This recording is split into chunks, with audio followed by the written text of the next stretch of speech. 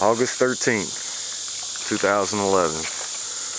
Been in this little ditch here. I don't know how long you think we've been out here, an hour? Yeah. Come across this little point here.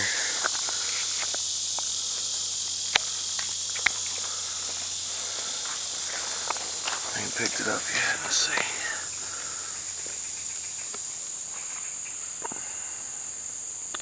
Holy cow, that thing is thin.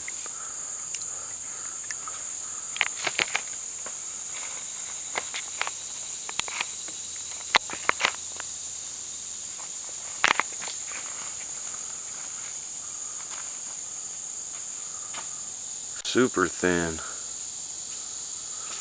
Alright. Find anything else, we'll get back to you.